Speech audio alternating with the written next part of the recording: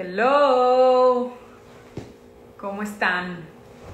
Hace muchísimo que no hago un live, hace muchísimo que no me conecto y apenas estoy regresando.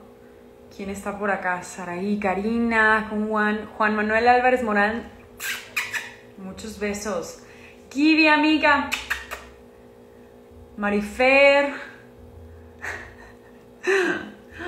Bueno, chicos, pues qué bueno que se están conectando, qué bueno que los veo por acá. Hace muchísimo que no hace un live, pero de verdad es que estuvieron mandándome miles de mensajes de Mexico's Next Top Model y de consejos de modelaje y de cosas que querían hacer. Entonces yo dije, ¿sabes qué? Para empezar, creo que la más apropiada para iniciar ese tipo de conversaciones pues es Heidi. Y que le hablo y me dice, sí, vamos a hacer un live juntas. Y yo, bueno, no podía con la emoción que me estaba dando de que me dijo que sí. Entonces, ahorita vamos a hablar con Heidi, a ver qué tal, y preparen todas sus preguntas, yo tengo aquí como cuatro o cinco, entonces vamos a empezar ahorita. Hilario, to my people in India, if you have any questions, I'm going to be interviewing one of the top models of Mexico, Heidi Mitchell. She was my judge at Mexico's Next Top Model, and she's just amazing. So if you have any kind of questions, just make them. Ay, Matamoros, te mando un besito. déjame ver dónde tengo mis requests. Todavía no se conecta. Ay, a ver, aquí está. Heidi. Listo. Adán Sotelo. Un beso. Camilo. La doctora. ¡Ay, Dianita! Hola, ¿qué tal? Estaba pidiendo ayuda porque no sabía cómo conectarme. Luego no se entiende. Yo también estaba viendo y como cuatro personas más me mandaron solicitud y yo así de... ¿No ¿Cómo estás? Muy bien, muchas gracias. Muy contenta de hacer esta charla contigo, aunque hemos estado tú en contacto, pero bueno, poder hacerla aquí a través de, con los amigos que nos quieren seguir. Yo creo que nos estamos viendo más con la gente de hace años ahora por Zoom, por Instagram que en persona. La última vez que nos vimos fue en el Breathless, ¿no? En una, una premier o algo, no me acuerdo qué era, la verdad. En Cancún. Sí. Sí, sí, sí, sí me acuerdo. No me acuerdo. ¿Dónde andas ahorita? Aquí en Guadalajara, acá estamos pues confinados un poco todavía dentro de lo que se puede, aunque ya la gente está saliendo más, pero bueno la verdad es que estamos tratando de dentro de lo que cabe, pues mantener todavía lo más que se pueda el estar en casa, porque pues ya ves que dicen que todavía está esto un poco en alza. Pues es que no salimos, yo creo que todavía no hay un pico, no nos va a tocar verlo en un rato, entonces si te puedes quedar en tu casa, quédate. Y si más... no todo el mundo puede, pero... Pero si puedes, sobre todo los niños, si tienes un niño chiquito, tienes tu bebé. sí, sí, sí, eso es lo más difícil yo creo que los niños pequeños en este momento son los que están siendo los grandes héroes, porque ellos no entienden qué es lo que está pasando y simplemente aceptan lo que está pasando. Y nosotros entendemos lo que está pasando, pero no lo aceptamos, ¿no? Entonces, bueno, es difícil. Yo creo que yo estoy así de, el año pasado viajé tanto y ahorita estoy así como encerrada y digo, ya, por favor. Ya sé, a mí también me encanta viajar. Yo por mí siempre estaría arriba de, de un avión o en el coche conociendo lugares. Sí. Oye, pues mira, hice unas preguntas de Mexico's Next Top Model en mi Instagram hace como tres semanas y cuando empezaron a preguntar tanto era de cómo eran los jueces y cómo eran y yo les contestaba así como pues hey es un amor Glenda la verdad es que todo el mundo dice Glenda era súper mala no Glenda es súper buena y Alan sí es muy duro pero es súper bueno para darte dirección y Oscar tiene o sea Oscar es súper chistoso entonces de repente dije creo que es momento de darle un espacio a los jueces, de que nos platiquen ellos su experiencia y que podamos contestar a todas las preguntas de los fans que siguen amando el programa, pero que desgraciadamente no se ha podido volver a hacer. Y, estoy yo un poco nostálgica también. Entonces, sí, de hecho, hace no mucho me encontré con Oscar y hablábamos de, tenemos que hacer algo, volver los mismos y, y crear alguna cosa nueva estaría muy padre, pero, pero bueno, luego vino esto del COVID y bueno, eh, los planes se aplazan un poco, pero eso no quiere decir que no se, no, no se puedan realizar. A ver qué se puede hacer en el futuro después de esto, a ver cómo van producciones. Pero por lo pronto, tú estuviste en la cuarta y en la quinta temporada. ¿Cómo fue para ti como juez? Digo, para mí fue muy diferente, muy estresante, muy, muy emocionante, pero para ti, ¿cómo era? Me encantó desde el momento en que me, me, hablaron del proyecto, porque creo que no existía este, ese auge hace años, cuando yo empecé como modelo, eh, del mundo de la moda como es los últimos años. Entonces, seguir promoviendo, promocionando este, este negocio, este mundo, esta profesión, eh, me pareció increíble poder participar y hacerlo porque no es solo descubrirlas a ustedes como modelos, le das también espacio a maquilladores, a estilistas, a peluqueros, a fotógrafos, a mucha gente que los demás no conocen porque están detrás de las cámaras en muchas ocasiones. Y yo creo que este es un, medio padrísimo para darse a conocer y ver cómo realmente funciona de repente el medio. Claro, a lo mejor hay mucho más drama o, es diferente porque pues hay que darle también la emoción a, a un reality, ¿no?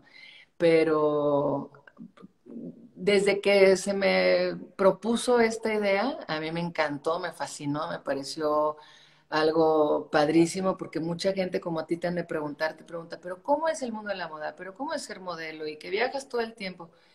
Yo creo que la gente no se imagina lo que puede llegar a ser una sesión de fotos, o hay gente que dice, ser modelo es muy fácil. ¿no? No entienden luego que no es tan fácil proyectar o estar delante de una cámara, seguir siendo natural o, actuar el papel o el personaje que te toca hacer de repente en, en, una sesión de fotos y luego ser o no ser fotogénico, porque también eso a veces no depende nada más de que tú quieras, a veces la cámara no te quiere, ¿no? Me acuerdo que, me, que, muchas veces estábamos en la, en la parte de los jurados y en la parte donde me estaban dando como el veredicto y nos decían, es que te ves, te ves muy grande en esta foto, o si volteas para allá ese no es tu ángulo, y tú para ti en tu cabeza habías hecho el mayor esfuerzo de tu vida trepada en el globo aerostático, y tú si lo estoy haciendo perfecto, y dicen, la pierna, el esto, ¿qué era lo que para ti era un, un parteaguas en las fotos, en que una foto fuera buena o una mala? ¿En qué te fijabas tú? Todo, ¿no? Yo creo que, que una fotografía lo dice todo, porque exactamente como dices tú, a mí me sigue pasando. Yo todavía cuando hago fotos, a veces, por ejemplo, me pongo así, bueno, ya sé que no me tengo que recargar, que no te puedes apoyar, porque entonces se te hace el cachete, se te pone como arrugado o, te ensancha, o sea, hay muchos trucos, pero todavía necesito la guía de un fotógrafo. O sea, tú de repente crees que estás perfecta y a lo mejor tienes la mano con los dedos así, no te estás dando cuenta porque traes tensión o algo, entonces te tiene que decir, relaja, ¿Sí me entiendes? O sea, siempre hay un detalle que te tiene que estar guiando y, diciendo cómo se ve detrás en, la cámara. Eh, creo que, una buena fotografía este, envuelve muchas cosas, pero obviamente eh, la fotogenia de la, de la, modelo dice mucho que sea un buen fotógrafo, porque si no tienes una buena luz, puede ser muy fotogénica siempre, eh, saber cuál es tu mejor ángulo, posar de lo, mejor y, dar mil poses al, fotógrafo. Pero si no tienes un buen fotógrafo y una buena luz, tú sabes, acabas, o sea, que tú sales de ahí diciendo, bueno, tiene que estar espectacular la foto, la ves y dices, ¡ay! ¿Dónde, ¿Dónde estaba yo en esa foto? Pero bueno. Sí, me acuerdo mucho que Alan era muy de los detalles. Me acuerdo que una vez vio cosas que nadie veía, así de el zapato, se le había salido el dedo a alguna de las niñas, a Elisa o alguna de las niñas de mi temporada, y tuvimos que hacer zoom para ver el rollo y, y, Alan se había dado cuenta, y él obviamente es fotógrafo, entonces él podía hacer todo ese tipo de cosas. Otra cosa que me preguntan muchísimo es que si alguna vez en la parte, cuando nosotros nos íbamos, tuvieran muchos desacuerdos en cuanto a quién eliminar y a quién no. Uh, sí. Sí, sí, sí, en muchas ocasiones había desacuerdos, discusiones, salíamos enojados y luego decías, bueno, por eso nos escogieron, ¿no? Porque todos tenemos diferentes gustos y diferentes puntos de vista. Y, era muy curioso, la verdad, yo creo que era una parte súper divertida. Era, nos reuníamos, nos sentábamos y no sabemos cuándo vamos a acabar. Hasta a decidir, claro, porque era, no era nada fácil y había demasiadas opiniones ¿Te acuerdas que había, hubo chavas que se desmayaban? En, bueno, no sé en la cuarta temporada, pero en mi temporada todas nos desmayamos al menos una vez de las luces tan intensas. Y me acuerdo que estaban ahí entre que Glenda le gritaba a Alan y Alan le gritaba a Glenda y no, no sé qué. Y caían al suelo varias, de que estamos horas. Hay muchas cosas, la gente no se da cuenta, pero para grabar un episodio o una escena en lo que era, por ejemplo, eh, la final, ¿no? Este, el, el final, perdón, del capítulo que es donde ya decías, pues la que se iba. Este, tú sabes, ustedes están muchas horas ahí de pie esperando porque el de las luces, se cayó una luz, se cayó este, el foco, el filtro, eh, uno de nosotros no estaba a tiempo o yo tartamudeé y dije mal el texto, o sea, son muchos, muchos los detalles que se tienen que cuidar y a ustedes, pues a lo mejor no comían mucho porque no querían llegar inflamadas. Entonces, este, pues no podías estar todo el rato con el vaso de agua porque te despintabas. Este, muchos son los detalles que les hacían perder el tiempo y a ustedes estar ahí paradas con los nervios y lo que dices tú, los focos. Tú sabes perfecto. Hola, mi amor, ven a saludar. Sí. Ven, ven, saluda a una amiga, dile hola. Hola. Pero ven aquí. Hola. Hola, papi. dile, ¿cómo estás? ¿Cómo estás? ¿Jugaste mucho hoy? Dile, jugué mucho. Jugué mucho. Y te encanta el fútbol, ¿verdad? Sí. Él le llama fútbol. Fútbol. Tiene lógica, ¿no? Fútbol. ¿Verdad, gordo? Fútbol. Eso. ¿Cómo no metes un gol? ¿Cómo gritas si metes un gol? ¿Te acuerdas o no? ¿O no? O no, dice. No, ya se va a cenar. y entonces digo, yo creo que, que los nervios que se están pasando, lo que tú dices, el calor que emiten esas luces, esos focos, y no puedes tener el aire acondicionado. En el momento de grabar se tienen que apagar los aires acondicionados del plató, porque si no está, entra por el sonido. Entonces, ¿te acuerdas? No podía, hasta yo, yo así rezaba para que un día existieran los aires acondicionados completamente silenciosos, pero estamos hablando de aires muy grandes para, para un, un plató tan grande. Y entonces hacía un calor y todos me acuerdo que a veces se tenía que parar para que a todos nos retocaran el maquillaje de que estábamos como yo estoy ahorita, así como grasoso sudando, o que parece por la luz que te hace brillar, ¿no? O sea, son muchos los detalles. Ustedes sí me acuerdo traías, que eran súper elaborados, o trajes, o traías cosas que eran muy gruesas, y yo veía, te estás muriendo de calor. Sí, sí, sí. Y eso ocasiona que te desmayes, o sea, entendíamos perfectamente. Y los nervios, son demasiados nervios. La cabeza a lo mejor te va a mil y tienes que estar parada. Y... Era muy largo el tiempo que les tocaba a ustedes estar ahí de pie. Oye, y obviamente tú nos veías como niñas nuevas, fresquitas, cero maleadas. Digo, obviamente llegamos ahí, no entendíamos el drama, no entendíamos qué estaba pasando. cuando nos veías, ¿tú te sentías como identificada de cuando tú empezaste? Totalmente, totalmente identificada, porque creo que todos a esa edad, por ustedes empezaron, la mayoría muy jóvenes, yo a lo mejor un poco más joven, porque para entrar en el programa ustedes tenían que tener cierta edad, pero siempre tienes una incertidumbre muy grande y, pues cuando no has trabajado como modelo no tienes ni idea de cómo va y cómo funciona, entonces son muchas las dudas, mucho eh, pues miedo, mucha inseguridad. claro que yo las veía ahí, yo las veía llorar y me identificaba totalmente, o sea, no es fácil. No te escuché. Creo que ha cambiado muchísimo la moda y el modelaje desde no sé, hace 10, 15 años a lo que es ahorita? ¿Cuáles son los cambios tú que ves más grandes del modelaje en este momento?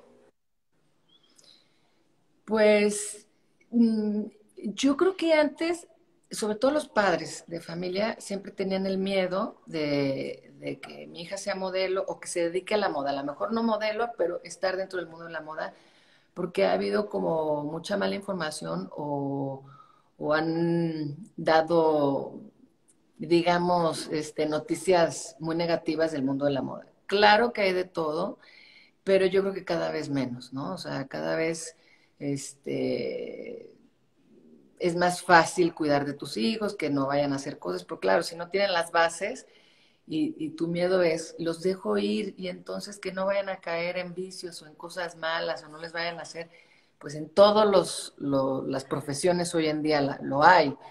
Este, yo creo que si le das buenos valores y las bases para que ellos se sepan defender y decir sí o no a ciertas cosas, este, pues es más fácil que les des el permiso de, de, hacer este trabajo, ¿no? Porque sí me ha tocado en muchas ocasiones, sobre todo antes, ¿no? Ver que papás me decían, es que mi hija, pero con preocupación, es que mi hija quiere ser modelo y, pues es un, un, mundo que no me gusta para ella. Digo, pero ¿por qué no te gusta para ella? O sea, la que le tiene que gustar es a ella, ¿no? Pero ¿cuál es lo, el miedo que te da? Entonces dicen, es que se oyen muchas cosas en el mundo de la moda. Y digo, pues sí, se oyen muchas cosas en el mundo de la moda y en otras profesiones. Lo que pasa es que este, entiendo que es una profesión que a lo mejor al trabajar como modelo con el cuerpo, con el físico, pues te da miedo que, que, algo malo les pase o que simplemente las negativas en el trabajo que te, que te tiren abajo, ¿no? Que, que te dé pues depresión o tristeza, pero pues yo pasé por tantos no al principio, o sea, hice tantos castings, yo no fui de las modelos a las que descubrieron en la calle, como en muchas ocasiones hemos oído de grandes modelos. Entonces, este, pues sí me tocó tocar muchas puertas, ir a muchos castings con muchas chicas y sentarte ahí y decir, uff, o sea, hay tantas chicas aquí, este, a lo mejor más extrovertidas o eh, que proyectan más o que son más fotogénicas y de repente quedabas tú por algo, o sea, no sé, nunca sabes cuándo te va a tocar o cuándo no. Y creo que eso es lo que antes generaba la negativa de los papás de darles permiso a los hijos o a las hijas de meterse en este mundo, ¿no? Y, hoy en día estamos viendo pues, que es un mundo que da mucho dinero a muchísima gente, que genera una economía positiva, este, desde los, las señoras que cosen, desde las diseñadoras, desde los fotógrafos, desde los estilistas, este, la gente de las editoriales. Eh, es un mundo muy, muy amplio que a mí me parece que hay que cuidarlo bastante porque en realidad ayuda a la economía de un país. Y, es un mundo no es tan fácil como parece y tampoco tan peligroso ni tan difícil como creen muchos, ¿no? Entonces, yo sí, de cuando yo empecé, hace como cinco años, cuando estaba joven, hace cinco, este, ahora que han pasado ya pues muchos años, sí veo que en México ha crecido y es porque no es que antes no hubiera talento, es que no había tantas escuelas para estudiar diseño de modas o para estudiar fotografía o para trabajar en este mundo en el ámbito que decidieras hacerlo.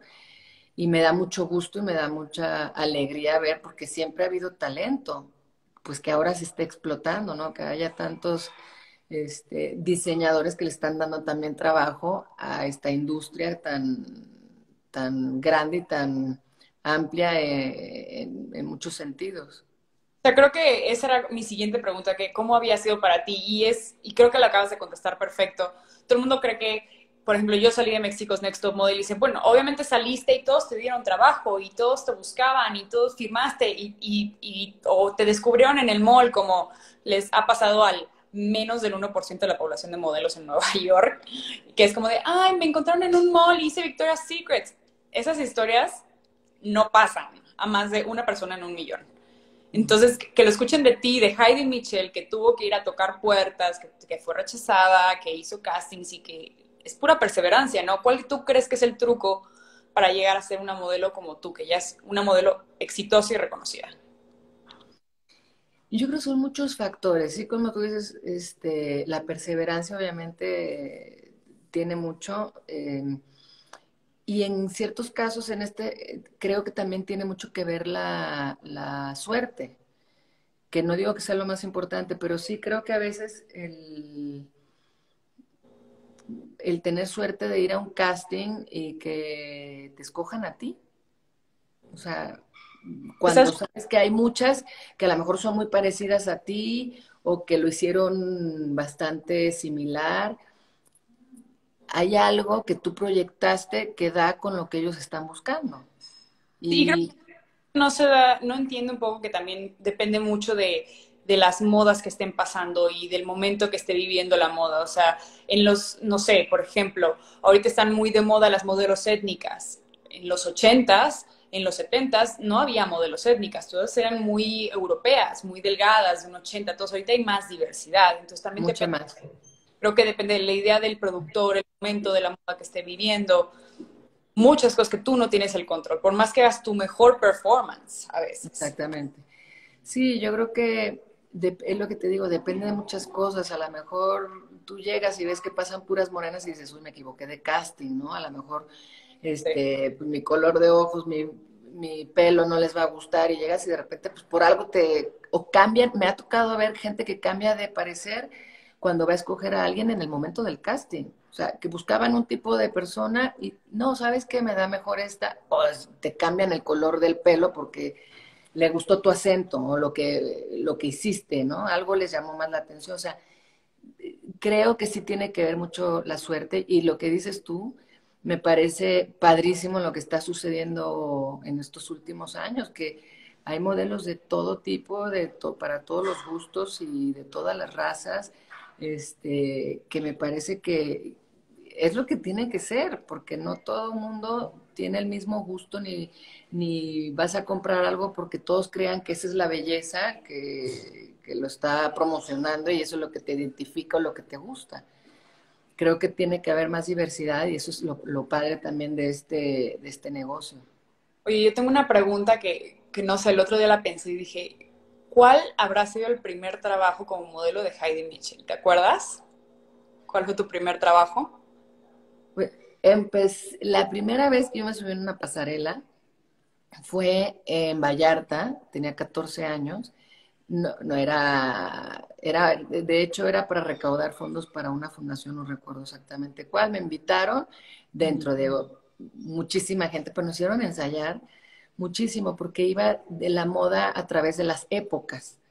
Entonces, ya te imaginarás todo tipo de vestuarios, todo, entonces tienes como que actuar cada época y el vestido que traías. Este, y para mí fue muy divertido, fue la primera vez que me subí a una pasarela. Este, creo que llevé como cuatro o cinco cambios y en cada uno tenía que ensayar y ver cómo iba a caminar y a, y a proyectar cada, cada vestuario que me, que me había tocado.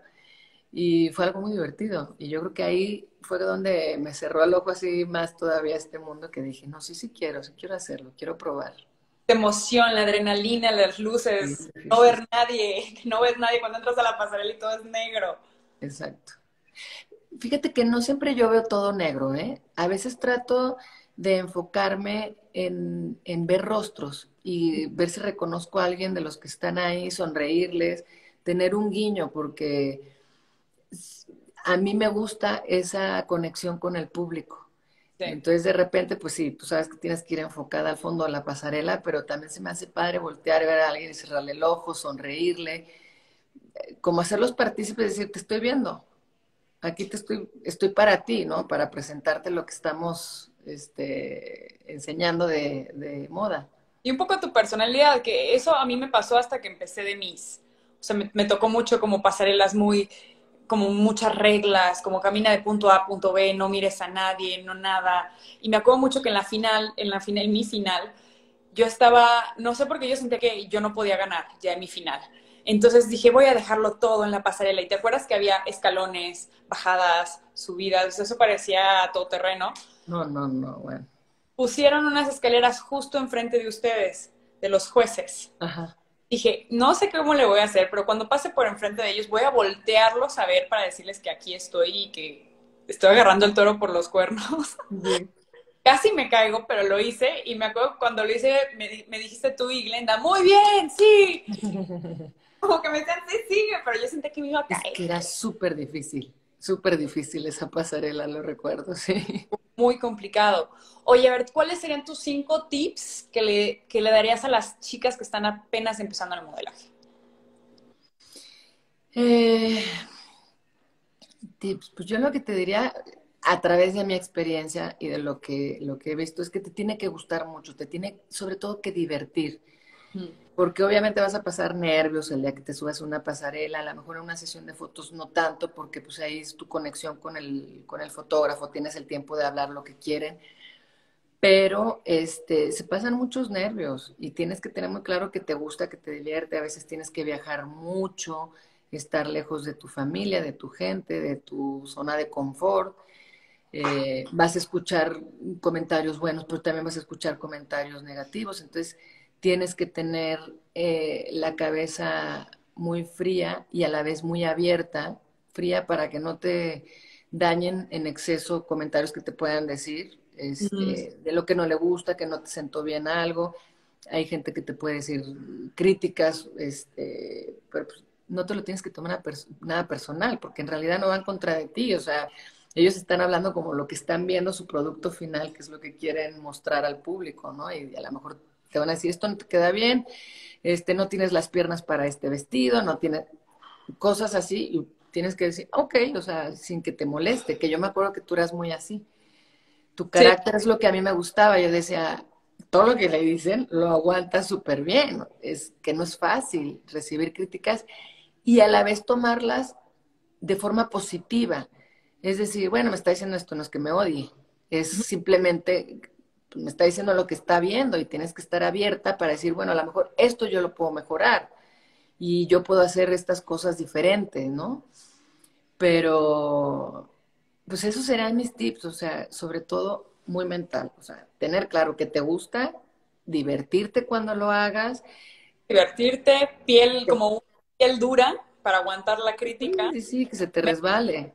O sea, que se te resbale, pero no de forma egocéntrica, o sea, me da igual lo que me estén diciendo. No, no, no, con conciencia de saber, no va en contra de mí.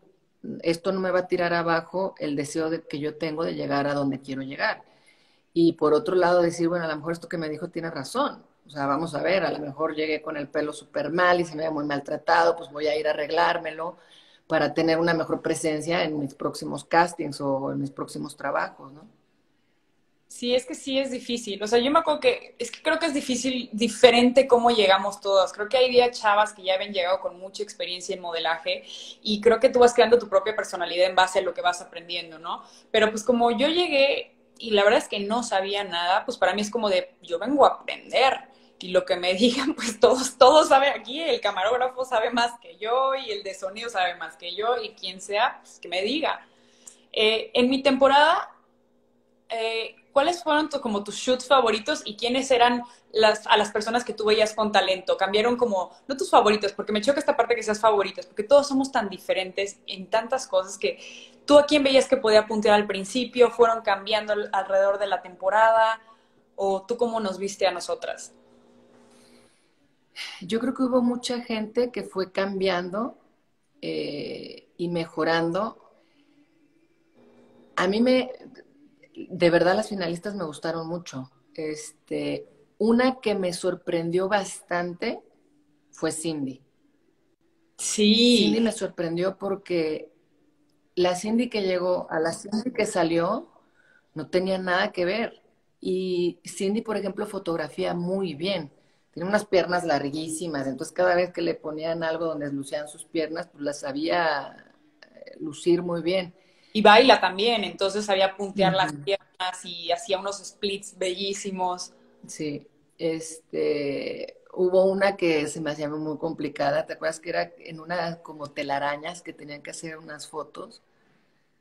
Esa creo que fue la temporada anterior. a la, anterior. La, vi y... A mí esa me impactó, o sea, yo decía, o sea, súbete ahí y que no se te vaya la cara para atrás para que no te salga rara, deforme y otra que también me pareció súper difícil, creo que sí fue con ustedes, la de los aros, que estaban con unos aros. No, también fue y, y lo hizo súper, creo que la foto de Cindy fue la que ganó porque estaba como agachada y era súper artística, les pusieron plumas, también estaba esta eh, Iliana también, que era muy muy buena. Que con todas ellas me llevo. Yo creo que hay una pequeña familia de, de Mexico's Next Top Model, porque yo cada vez que las veo en un casting es como de, ah, yo te conozco. No nos conocemos, pero nos hablamos, nos queremos, nos seguimos, nos damos consejos y de ellas he aprendido muchísimo, Muchísimo. Ah, por cierto, casi todas las de mi temporada te mandan saludos. las- Ay, dales un beso muy grande.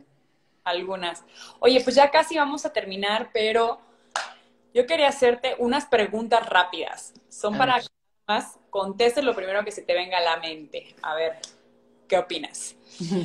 A ver, lo primero que hago al levantarme es... Eh, encender mi celular.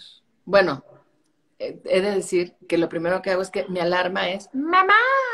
Entonces, lo primero que realmente hago es ir al cuarto de mi hijo y ya después, si vuelvo a la cama con él, este, es encender mi celular.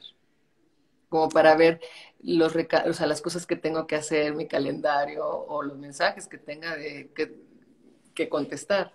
¿Eres fan de las redes o no? Sí, sí, uso mucho esta. ¿Qué te pone de malas?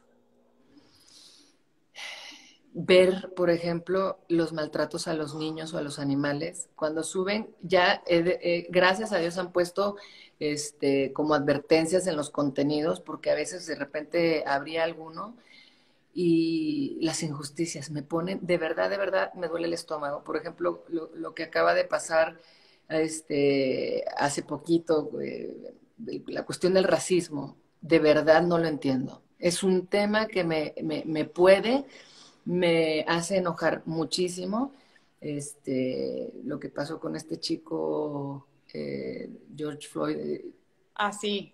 Sí, todo o sea, todavía sí ah, lo, lo pienso en la imagen, que me da hasta, me duele haber visto esa imagen, porque se me quedó muy grabada, ¿no? Y esas cosas me hacen enfadar en exceso. Que en México no pasa eso como tal, pero sí, no, porque no hay pasa- racismo, creo que es más un clasismo lo que hay. Sí, Es, es injusticias de otra forma. sí, no porque después de esto pasó aquí con un chico, este, también, eh, la policía lo desapareció, o sea, de repente llegó ya muerto, entonces esas cosas de verdad me dan mucho coraje, siento impotencia, y es como que tratas de buscar qué puedo hacer, cómo puedo ayudar, cómo puedo intentar, este, con mi imagen o con lo que sea, ayudar a, la gente a entender que eso no te lleva a nada. No te lleva a nada ser racista o clasista, como dices tú. Es, que movimiento que, que va caminando. O sea, desgraciadamente llevamos muchos años siendo clasistas en México, que e- es muy diferente en Estados Unidos porque el racismo ha sido un movimiento que lleva mucho más tiempo que, la lucha del clasismo en México. Entonces creo que apenas estamos empezando. Yo llevo escuchando cosas de clasismo en redes y en... el clasismo y la homofobia. No. o sea, a mí me parece tan absurdo que haya gente que, que todavía tenga este tipo. No, no quiero juzgar porque es lo mismo que hacen ellos, ¿no? La gente que tiene todas estas este, ideas tan cerradas y retrógradas a mi punto de vista. Pero es que no entiendo. No entiendo que, que- que puedas odiar a alguien que no conoces simplemente por, por su raza, por su dinero, por su color de piel, por su eh, preferencia sexual. Luego nos vamos a echar una platicadita porque yo tengo que coserme en ese tema. También me apasiona mucho como el cambio social y, y obviamente hay muchas cosas que no puedes decir porque siendo figura pública hay muchas cosas que tienes que frenar un poquito de lo que estás diciendo, pero creo que llegó un momento donde tienes un micrófono y el micrófono te sirve para decir lo que crees y para educar No, yo creo que hay que frenarse, yo creo que saber cómo decirlo y entender que puedes gustar, puede gustar o no tu comentario, pero, pero ante las injusticias creo que sí hay que levantar la voz. Definitivamente. Y, Es muy- y hay que decir, estoy de parte de o no, porque no hay, o sea, no, no hay un punto en el que uno se puede quedar callado ante una injusticia tan tremenda. Pero también hay que saber cómo decirlo porque puedes incitar a otra gente al odio, a más violencia, o sea, que es lo que justamente se trata de evitar. Sí, la polarización es muy fácil también. Pero bueno, Va. ya lo bueno en este tema. Eran, eran preguntas rápidas y respuestas largas, ¿no? 20 horas en cada uno nos vamos a tardar. La persona que más admiro es... Híjole. Pues a mi esposo, por ejemplo, lo admiro muchísimo. ¿Por qué? por su carácter, porque es una persona muy determinada, porque me encanta ver que eh, decide hacer una cosa y la hace al 100. O sea, la hace muy bien y, y pues es una persona que ha llevado eh, el nombre de mi país en, ¿sabes?, en alto y, y para bien. Un saludo si está por allá, por cierto. Toda la gente que está Está poniendo. con el niño. Eh, No podría vivir sin. Sí, mi familia. Ay, lo que me gusta comer, pero no debería es. Chocolate. Algo que he hecho que nunca volvería a hacer es. meterme, por ejemplo, el otro día me estaba acordando que cuando era adolescente en la prepa o así, que hacíamos fiestas en casa de alguna amiga o amigo que tenía casa cerca de la playa, nos metíamos a nadar al mar en la noche. Este, y era súper divertido, pero yo creo que ahorita no lo volvería a hacer así. O sea, nos metíamos a nadar, obviamente, incluso con ropa, porque estabas en la fiesta y, ay, se ve padrísimo el mar. No, no se ve en realidad, pero vamos a meternos. Y ahí era como, hay que ser valientes. Eso, por ejemplo. No, y ahorita es como hay que ser inteligentes. Tengo un niño que alimentar ahorita en casa. sí, sí, sí, cualquier bicho, cualquier cosa en la noche que no la ves. Oye, una tendencia de moda que odio es. Mm, El ponerse todo. O sea, ¿sabes que se cuelgan todos los aretes, mm, mu- mucho maquillaje, muchos accesorios en el pelo, este, ropa muy sobre, sobre, sobrecargada que no se sabe combinar bien, eh, zapatos muy llamativos, o sea, como que te pones todo a la vez. que parece- Yo creo que eso lo dejo para el árbol de Navidad. A mí me gusta, ¿sabes? Como, no sé. Es lo tuyo, el, el minimalismo es lo tuyo. Sí. Perfecto. Yo no entiendo los biker shorts, esos que parecen como de ciclista, no los entiendo. Poner alguien que Pero me- yo creo que depende cómo te pongan las cosas, porque te puedes poner un Sí. top padre y el biker short, bueno, depende también cuál biker short. Yo me pondría algo muy sencillo, negro, ¿no? Sí. Pero, pero yo creo que la moda ahorita está en un plan súper divertido, porque están combinando cosas que yo jamás me hubiera imaginado y nada más de verlas digo, le queda súper bien. O sea, si me presta el outfit, sí me lo pongo. Sí, creo que sí. que no. Si me dicen cómo usarlo, yo creo que sí, pero así de que yo vaya a comprar una así de este neón se ve padre con este, no, o sea, no sé ni cómo combinar esa cosa. Lo- a ver, lo único que me hace llorar es, Ay, soy muy llorona. Desde que soy mamá, antes era más fuerte, desde que soy mamá como que todo, hasta un anuncio, un anuncio del Día de la Madre o del Día del Padre, así ya me ves como con la lágrima. Pero este, llorar, y yo hablo de emoción o, o llorar de tristeza.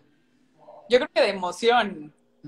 Sí, porque tristeza nos vamos a ir muy, muy, muy pesado, nos vamos a ir otra vez la injusticia social, Sí, voy a volver a lo mismo. el COVID, o sea, y ¿sabes qué? Soy muy, soy muy cursi, veo muchos, muchos videos sobre perritos de la calle que rescatan. Eso me hace llorar, o sea, los veo yo, ay, qué bonito, qué bien que encontraron a alguien. definitivamente. Cuando nadie me ve yo, Mm, bueno, no sé, cuando alguien, me- mi familia, pero por ejemplo, a veces bajo a cenar y el otro día mi esposo me hizo una gran broma, que te juro que me moría la risa, porque me pongo a veces mascarillas que tardan mucho rato en secar y ya están cenando, entonces pues, me da igual, bajo así, este, con mi mascarilla verde, roja, azul, blanca, lo que sea, y entonces se mueren de la risa, pero ya están acostumbrados. Y el otro día me grabó mi esposo y al final me dice, ¿me dejas subirlo? Y yo, súbelo. O sea, la verdad es que quedó muy chistoso porque no, no me lo esperaba con el diálogo que puso detrás el sonido. Así. Entonces, bueno, hay que hago seguir. muchas, hago muchas tonterías cuando nadie me ve.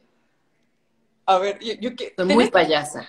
¿tienes TikTok? Por favor, dime que tienes TikTok o dónde Sí, pones. sí tengo TikTok, pero trato de ir como de seria. Y luego cuando estoy ensayando, hice por ejemplo mi primer TikTok este, con mi esposo y luego otro con mi hija y mi hijo, bailando. Bueno, si tú ves los ensayos, el, o sea, es más divertido el ensayo que ya lo que subo, ¿no? Porque hacemos el tonto mi hija y yo y hasta a veces mi hija es más madura que yo y mamá, ya para. Ya hiciste- Son las cosas que hago cuando nadie me ve. Sí, sí, Sí. Ya te voy a seguir. Sigan todos a Heidi, por favor, en todas sus redes TikTok. ¿Qué más? A ver, ah, a este mundo venimos a... a, a hacer algo bueno, a, a ayudar, a dar algo de nosotros a los demás. Yo creo que hay que descubrir el talento que tenemos y ese talento no buscar el beneficio propio. Yo creo que una cosa que me hace llorar, te lo juro, es si yo puedo ayudar a alguien y lo hago y me dicen gracias y me tengo que aguantar para no llorar. No sé, me emociona mucho. Y luego creo firmemente en... En que hay que ser fiel a tus valores, a tus convicciones. Cuando predicas mucho algo, pero luego haces otra cosa, sí, te puedes equivocar, pero no, no, no creo. Luego en la gente que, que va o que usa mucho a Dios, lo pone por bandera, hablan mucho de Dios, pero yo creo que Dios tiene tantas caras tan bonitas, tantas cosas tan hermosas que no entiendo, eh, pues la gente que habla mucho de Dios, pero luego este, se aferra tanto a una creencia que hace injusticias, ¿no? Como el racismo, como eh, odiar a, una persona que es homosexual. Eh, todo ese tipo de cosas no, no, no, creo que no van. Y aquí voy a meter una que están poniendo aquí que dice, ¿cuál es tu película romántica favorita? Yo también quiero saber. Pretty Woman, me encanta. me, parece, me parece una película que lo tiene todo, es divertida, este, es la cenicienta moderna y tiene puntos este, muy buenos, ¿no? Te está hablando de una chica que tiene un trabajo al que todo mundo juzgamos y criticamos, que decimos que no es algo decente, sin embargo, mm, tiene la suerte del mundo y la oportunidad de cambiar y, tomar otros rumbos. Y este, yo creo que es una película muy bonita. Tiene mucho mensaje. O sea, parece así como una tontería, pero yo creo que tiene mucho mensaje detrás que, está padre. Y la vida es bella. Ay, eso es, no, eso es tristísima. Esa sí es para llorar. Y sí, pero es, eh, ¿qué más romanticismo que el amor que derrocha este hombre a su esposa y a su hijo siempre? O sea, me parece, todo lo que hace o sea, ese es mayor romanticismo que eso no hay. Todo lo que hace y lo que él aguanta solo para intentar verlos bien, ¿no? Y, que ellos estén bien. Es una demostración de amor muy fuerte en esa película. Te rompe el corazón porque es lo más puro que, que puedes ver en cuanto a amor de familia, definitivamente. Me están preguntando aquí también que cuáles son tus modelos favoritas, cuáles son los modelos que te inspiran bueno, de cuando yo empezaba, te voy a decir las de, las de antes, por ejemplo, la que me fascinaba, siempre lo he dicho, es Elena este, Christensen, me parece. Eh, y es que me la encontré en persona y no sabes cómo es, o sea, es una, una belleza, aparte son muy altas. Yo sé que yo soy alta, pero no tanto. Y este, entonces me acuerdo que las vi así como que me sentí una niña chiquita y no era una niña, ya era adolescente. Este, Naomi Campbell me parece espectacular. O sea, yo creo que todas siempre hemos querido hacer una pasarela como lo hace ella. Yo creo que es imposible no quedarte con la boca abierta al ver pasar a, esta mujer. Oye, a ver, ya para que terminar esto, porque ya nos vamos a ir, nos podemos ir a las tres horas si quieres, pero... ya sé. De la gente dice que soy. ¿Cómo, perdón? La gente dice que soy. Eh, ¿Seria? Pero en realidad soy. Muy payasa. payasa. O sea, payasa. o sea, de contar chistes tontos y morirme yo de la risa, de eh, ir en la calle y hacer el tonto, o ponerme a bailar como, como pato, no sé, o sea, soy muy payasa. Yo creo que hacer un TikTok y vamos a tener que replicarlo. Y hay algunos fans de, de ahí de Mexico's Next Top Model que lo repliquen para, para reírnos un poco y salir de nuestro de nuestra concha de, que nos da pena ser payasas. Yo también sí, sí, hay que hacerlo, es verdad. Oye, y por último, Mexico's Next Top Model para mí fue.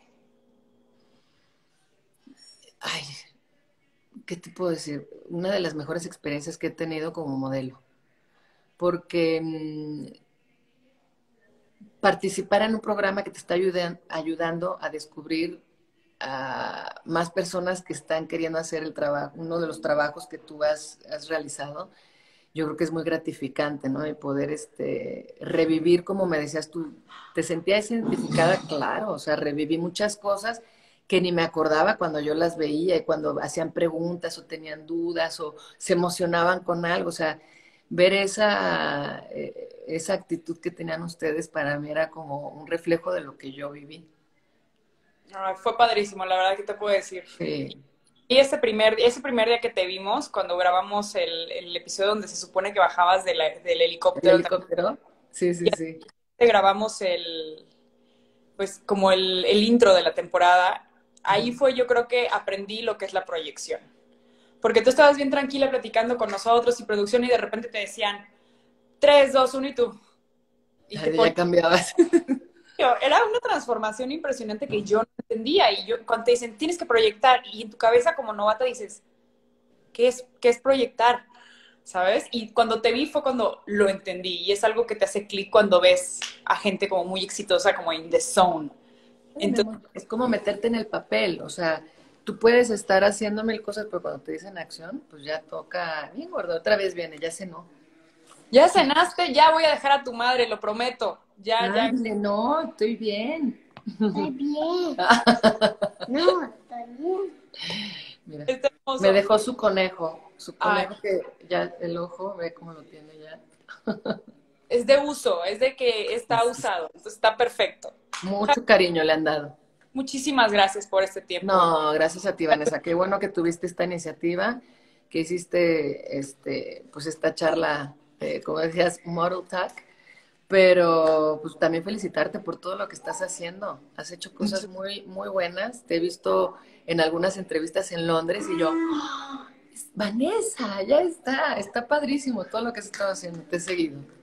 Muchas, felicidades. Ya habrá momento para hacer cosas juntas. Yo creo que creo que sería de mis sueños como la gente que me ayudó a iniciar en esto, que después pueda colaborar. Yo creo que es uno de mis más grandes sueños. Todavía tengo muchísimas de ti, de todos los programa y pues gracias por ser parte de mi camino.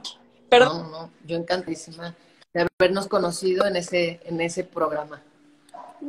Sí. gracias. Besos, besos para Y gracias a todos los que se conectaron y estuvieron aquí. Espero que de algo haya servido esta charla y, y que pueda ayudar a las próximas modelos. Yo creo que sí va a ayudar. Te mando besos y a tu chaparro y a tu marido y a tu hija. Muchísimas gracias. Muchos besos. Cuídense todos. Chao. Bye. Ay, no, qué emoción.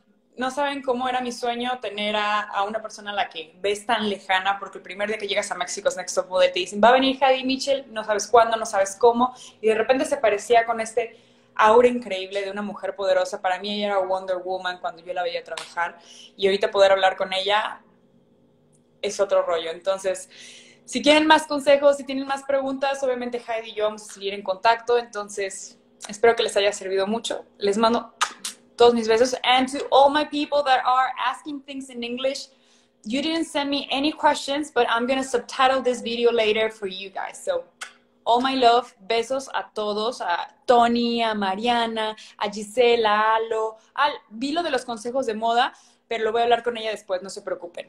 Hey, Miss World, hey World. Vanessa, ¿te gustaría hacer un proyecto como México's Next Model? Claro, pero que haya hombres y mujeres, que podamos entrar de todas las edades, que podamos entrar de todas las identidades de género. Creo que tiene que haber un poquito más de expresión, ¿no creen ustedes? Les mando muchos besos y los veo pronto.